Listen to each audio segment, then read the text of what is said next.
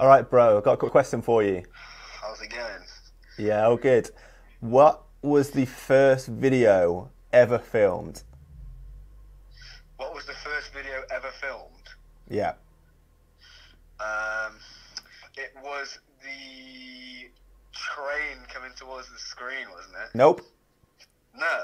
I asked a ton of people that same question, and most people have absolutely no idea. A smaller minority of people, myself included, might think it was some of Thomas Edison's early work around 1893 or the works of the Lumiere brothers in 1895. But I can guarantee that almost no one will tell you that the first videos ever made were made by a Frenchman in a small town called Leeds in the north of England. Well, that's exactly what a friend told me this week. And as someone who's been living in Leeds himself for the last three years, I just couldn't believe this. this. There's no way this was true. I mean, I make my income through using video and I teach others about the power of video. How could I have not heard once that the first video ever made was made in the city that I live in. But after he told me this, I went away and did my own research, and it turns out it's completely true. I discovered that the first video camera ever made was made by a gentleman called Louis Le Prince and was patented in October 1888, over 130 years ago. I also learned that the three first videos ever shot were filmed in October 88 with this camera. That's five years before anything publicly shown by Thomas Edison and seven years before that first video from the Lumiere brothers. So it turns out that Louis Le Prince made that first ever video camera in his Leeds workshop. That camera shot video at between five to seven frames per second. It had two lenses built into it, the top one was the viewfinder for the operator to look through, and the bottom one was the lens that took the photographs that would be compiled to make the video. It's in the National Science and Media Museum in a small town called Bradford, just next to Leeds, which I took a visit to to see this camera in person. And with that new invention, the first single lens video camera, Louis Le Prince shot the three first videos ever made in October 1888. Okay, so the first of those three videos shot in October 1888, they were shot in the grounds of the mansion house Oakwood Grange, which sits somewhere behind me here. But in 1972, it was knocked down and completely demolished and replaced with these modern houses that you can see in the background. So unfortunately, we can't visit the exact location that video was shot anymore. But the second of the three videos that Louis Le Prince filmed, and the most famous, is this scene on Leeds Bridge. Unfortunately, this bridge that sat in Leeds city centre still exists today. And it's right here that we're going to focus on in this video today. This is where history was made. The video is called Traffic Crossing Leeds Bridge, and it captured just that.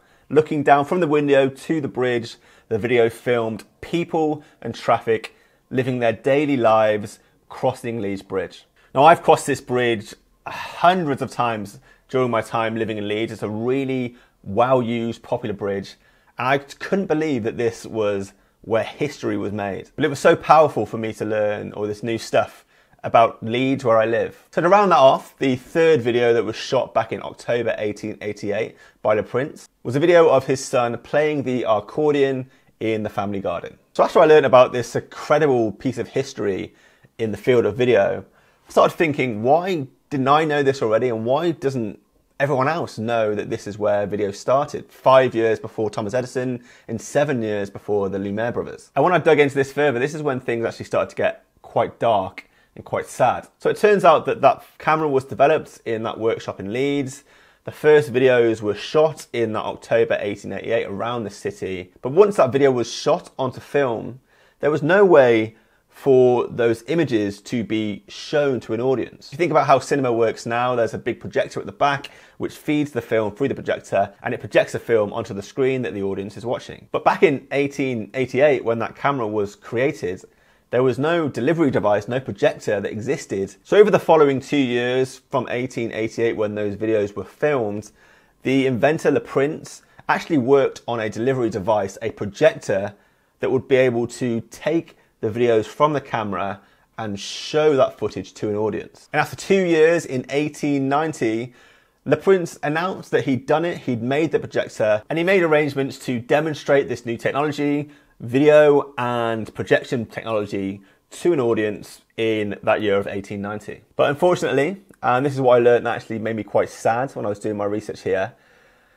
That reveal event never happened. On the day that he was going to show this to the public, boarded a train in France, and at some point between his departing destination and where he was meant to arrive, Louis le Prince completely vanished and was never to be seen again. So this made me quite sad to learn. I mean, first off, Louis le Prince never got to reap the rewards of his amazing breakthrough in the field of photography and video. And secondly, I was quite sad to learn about the five year delay on the progression of camera technology and video technology that happened as a result of these breakthroughs lying completely dormant and not being released and announced to the world. So yeah, when I discovered all of this new stuff, you know, the actual real story of the origins of video, part of me actually wished at that stage that I hadn't learned about it. But then my perspective changed and that negative actually turned into a positive. Rather than thinking about this sad outcome when I think about this story,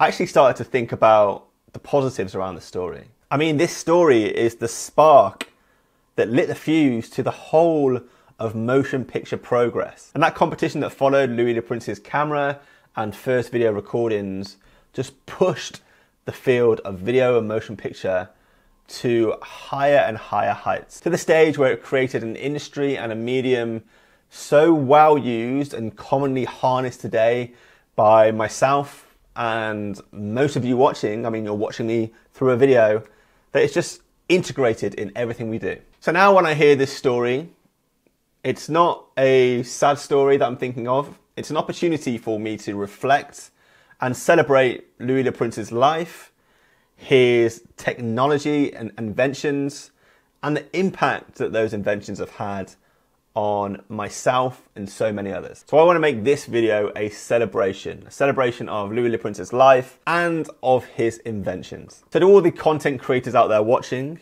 I want to implore you, while you're out there crushing it, making content and creating a profit from online video, take a second to reflect and think about the origins of the industry that you're so deeply rooted in. Just respect the technology that came in the past that led us to where we are now. And I hope that you're happy to know the real story now yourself.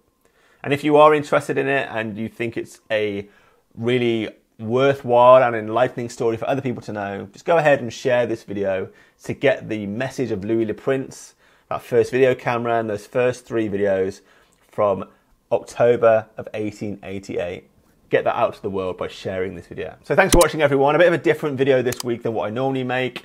I will get back to making practical tips on how to you know be successful with video online in the future. But I wanted to just take a step back today to reflect, celebrate these achievements, and kind of put this tribute out there to give back from an industry and from a technology that has given so much to me. So I hope you've enjoyed it.